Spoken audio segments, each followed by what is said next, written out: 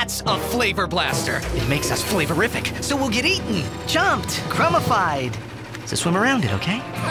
No, no, no, no, no! Hello? Earth to crackers.